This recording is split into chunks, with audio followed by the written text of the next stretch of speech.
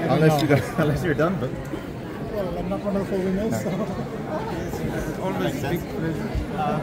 thank you. I think I was losing first game, but then I saw your face. You were smiling. Okay, then I got some.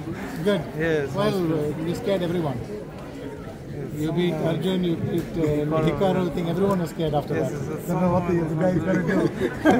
No, I think actually personally, uh, if I wouldn't lose that game to Hikaru, then I would get a very good result in tournament. Because after that game, I just teased so much. I lost three games in a row. Sorry.